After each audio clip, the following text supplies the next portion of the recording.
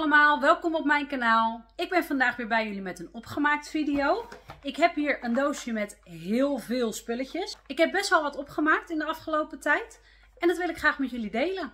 Mocht je dit nou nu al een leuke video vinden en wil je meer van dit soort video's zien, geef dan even een duimpje omhoog. Vergeet je dan ook niet te abonneren op mijn kanaal. Druk even op het belletje, dan krijg je een melding iedere keer als ik iets upload. En dan gaan we gauw beginnen. Dan wil ik beginnen met iets wat ik normaal gesproken niet laat zien. Dat zijn kaarsen. Ik maak heel veel kaarsen op, want wij vinden het heerlijk om s'avonds kaarsjes aan te hebben. Uh, normaal gesproken laat ik dat niet zien. Maar deze wil ik wel even met jullie delen. Dit is een geurkaars van het merk Bij de Toesenbol. Zo ziet het eruit. Uh, volgens mij is dat gewoon een heel klein eenmanszaakje. De website is volgens mij ook gewoon bij de toesenbol.nl. Uh, mocht dat nou niet zo zijn, kan je het altijd even googlen. Dan kan je hem ook vinden. Dit is zo'n geurkaars met zo'n knetterlont. Zoals je ziet zit er nog wel wat in, maar de lont is op. Dus ja, dan heb je er niks meer aan. Maar deze kaars is zo ontzettend goed. Om te beginnen knettert hij heel goed, wat ik heel fijn vind, want daarvoor koop ik hem. Maar de geur is ook echt fantastisch. Ik had nu de geur amber en musk. Ik vind hem heel lekker. Het is een beetje een... Uh, een mannen aftershave-achtige lucht. Dan denk je, is dat lekker als kaars? Ja, dat was die dus. En ik heb best wel een grote woonkamer en de geur verspreidde in de hele kamer. Ik vond dit echt een super fijne kaars. De brandtijd is 20 tot 25 uur, dus dat is best een poosje. Um, en ik wilde deze gewoon even heel graag met jullie delen, omdat ik dit echt, echt een aanrader vind. Dus mocht je op zoek zijn naar een goede knetter geurkaars, hier moet je zijn. Ik ga zeker nog een keer bestellen daar. Dan heb ik nog wattenschijfjes opgemaakt. Dit zijn van die grote, van die maxi wattenschijfjes. Die gebruik ik altijd om mijn oogmake-up eraf te halen. Want als ik mijn mascara eraf haal met van die wasbare wattenschijfjes, dan blijft dat erin zitten. Gaat er niet lekker uit in de wasmachine. Nou, vingerramp. Dus daar gebruik ik altijd eventjes een wattenschijfje voor, een grote. Want dan kan ik met één wattenschijfje mijn beide ogen schoonmaken. En dan daarna maak ik mijn gezicht altijd schoon met zo'n wasbaar wattenschijfje. Maar hier vind ik deze wel heel fijn voor. Dus dat. Dan heb ik nog een nagellak remover opgemaakt met aceton.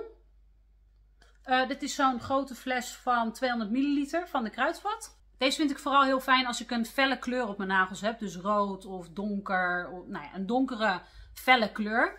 Uh, dan haalt deze het gewoon heel goed weg. Dus dan heb ik van Soul Secrets een shower milk opgemaakt met de geur White Lotus en Sesame Oil. Um, ja, ik vond deze prima. De geur was vooral heel lekker. Dat was eigenlijk de voornaamste reden dat ik deze had. De geur is echt, oh, hemels. Echt hemels. En verder, ja, weet je, hij doet op zich zijn werk. Ik vond hem niet fantastisch. Uh, het is niet dat hij heel lekker schuimde of wat dan ook. Maar de geur is echt, oh, wauw. Ja, heel erg lekker. De geur bleef niet zo lang hangen. Dat was wel jammer. Maar gewoon even een ontspanmomentje in de douche. En dan met dit geurtje, helemaal lekker. Dan heb ik nog een kleine deodorant opgemaakt. De Fa Pink Fusion. Deze. Um, ik heb vaak zo'n deootje in mijn tas zitten. En dan gewoon tussendoor kan ik even sprayen. En ja, hij is prima op zich. Ik vind hem niet zo fijn om iedere dag dan voor de hele dag te gebruiken. Uh, want daar heb ik gewoon liever een andere voor. Maar voor even tussendoor vind ik deze prima. Dan heb ik een discussie dingetje. Want ik heb weer een potje van de Holland Barrett magnesiumpillen opgemaakt. Deze. In mijn vorige video kreeg ik de comment dat het niet goed is om dit zelf te proberen. Dat je ervoor naar een huisarts moet. Nou, noem het allemaal maar. Uh, deze tabletten zijn gewoon te verkrijgen bij de Holland Barrett zonder recept, wat dan ook. De aanbevolen hoeveelheid is drie maal daags één tablet. Um, en ik gebruik het voor mijn spieren. Even voor degenen die de vorige video niet hebben gezien. En bij mij werkt dit heel goed. Uiteraard ben ik al lang bij de fysiotherapeut geweest. Ik heb bij de fysiotherapeut gevraagd of ik dit gewoon kan gebruiken zonder enge nadelen. En die heeft bevestigd, ja hoor, kan je gewoon proberen. Het ergste wat er kan gebeuren als je een overschot aan magnesium krijgt, is dat je wat last van je darmen krijgt. Nou, dan ben je vrij snel achter en dan moet je dus minder innemen. Maar voor mij is drie keer per dag één zo'n tablet echt heel erg gunstig voor mijn spieren. Dus wil je dit niet en wil je ervoor lang naar een huisarts, doe dat vooral. Doe vooral wat voor jou goed voelt. Maar voor mij werkt dit heel goed. Dan heb ik van Kate Somerville een Goat Milk Moisturizing Cleanser opgemaakt. Dit is een klein tubetje van, hoeveel was dit? Van 30 milliliter. Uh, dit zat volgens mij in zo'n box, in de Look Fantastic box of zo. Uh, ja, ik vond hem wel fijn op zich. Ik heb er niet echt iets op aan te merken. Ik heb ook niet het idee dat het nou heel erg veel voor mijn huid heeft gedaan en dat mijn huid gigantisch gehydrateerd was. Maar hij was prima. En mijn huid voelde niet trekkerig daarna. Het was niet dat het extreem droog was. En dat heb ik met sommige uh, cleansers wel. Dus ja, ik vond hem prima. Dan heb ik nog een tandpasta opgemaakt. De Colgate Cares Protection. Deze was het. Ik heb nooit specifiek een bepaalde tandpasta. Ik heb altijd gewoon wat er of in de aanbieding is of wat dan ook.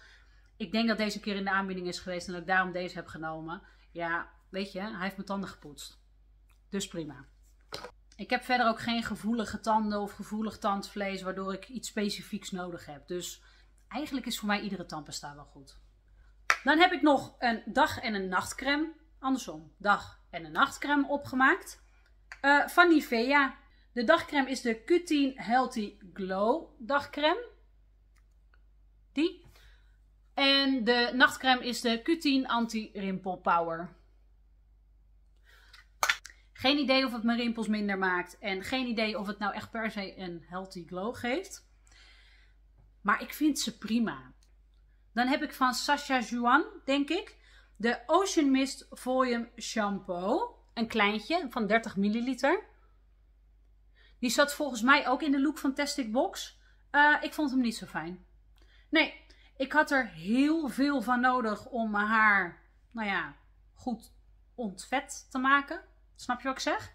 Ik heb best wel wat vettig haar van mezelf. En om echt mijn haar goed, nou ja, schoon te maken, had ik zo ongelooflijk veel nodig van dit product. Ik heb hier maar drie keer mee kunnen doen. Dus dat betekent dat ik 10 milliliter per keer heb moeten gebruiken. Ik vind dat best wel veel.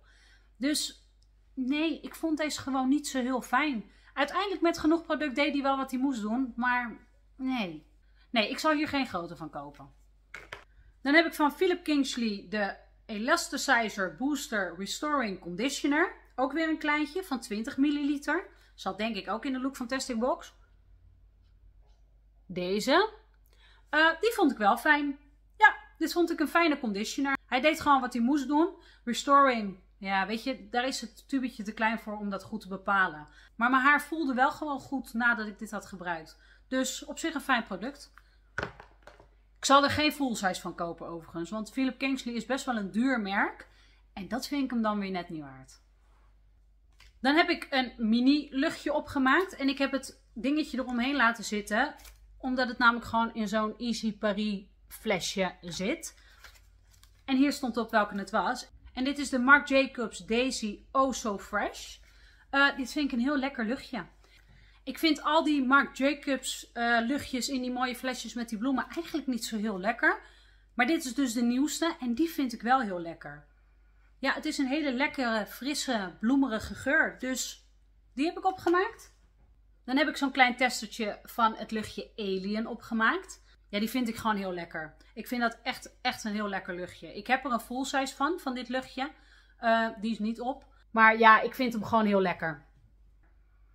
Ja, dan heb ik twee maskertjes opgemaakt. Twee van die sheet mask van Kruidvat allebei. De ene is de Vitamin C Radiant Glow. Deze. En ik heb de Hyaluron Moisture Shot. Um, ja, beide volgens mij wel goed. Ik heb hierbij nou nooit heel erg het idee, oh ja, dit heeft echt iets gedaan voor mijn huid. Maar ik vind het gewoon lekker. Het is gewoon even lekker een relax momentje voor mezelf. Even tot rust komen met een maskertje. Helemaal fijn. En dit is gewoon lekker makkelijk. Dus ja, helemaal prima. Dan heb ik nog drie make-up producten. Nou ja, dit is een semi-make-up product. Dit is een 30 Days Extension Night Treatment Booster. En die is van Kiko. Dit is zo'n soort van mascara, maar dan niet helemaal mascara. Om je wimpers te laten groeien. Um, werkte voor geen meter. Maar echt niet. Ik heb het heel braaf, minimaal de 30 dagen, volgens mij zelfs wel 40, 50 dagen gebruikt. En het heeft helemaal niets voor mijn wimpers gedaan. Dus dit product, geen aanrader. Dan heb ik nog twee producten waar ik wel heel blij mee ben en waar ik inmiddels ook al meerdere van heb opgemaakt. Om te beginnen heb ik het Morphe wenkbrauwpotloodje in de kleur Hazelnut. En dit is degene met zo'n, uh, ja, wat is dit? Zo'n waterachtig druppeltje ding. Um, ik vind dit gewoon een heel fijn wenkbrauwpotloodje. Ik heb hier nog een paar backups van liggen. Ik weet even niet of ik deze kleur ook een backup van heb. Volgens mij heb ik voornamelijk de kleur als ik mijn haar geverfd heb. En zoals je wel kunt zien, heb ik dat al een poosje niet gedaan. Want dit is mijn geverfde kleur en dit is mijn kleur nu.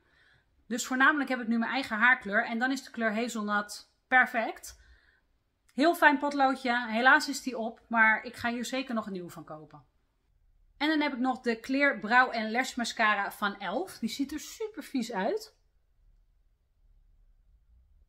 Um, eigenlijk is het de bedoeling dat je er één voor je wimpers en één voor je wenkbrauwen gebruikt. Maar ik gebruik het alleen voor mijn wenkbrauwen. Ik gebruik dit niet voor in mijn wimpers. Ik vind dit gewoon een heel fijn product. Mijn wenkbrauwen blijven goed op hun plek zitten. Uh, je krijgt geen vieze, vieze wenkbrauwen. Je krijgt gewoon mooie, natuurlijke wenkbrauwen. Alleen zitten ze dan wel vast. En ik vind hem gewoon heel fijn. En het product is niet zo duur. En dat is helemaal prettig. Dan is mijn bakje leeg. Dit is alles wat ik heb opgemaakt. Dat was best een hoop. Dan was dit het einde van deze video. Dan wil ik jullie voor nu heel erg graag bedanken voor het kijken. Mocht je dit nou een leuke video hebben gevonden, geef dan even een duimpje omhoog. Vergeet je niet te abonneren op mijn kanaal, daar zou je mij heel blij mee maken. En dan zie ik jullie heel graag bij de volgende. Doei doei!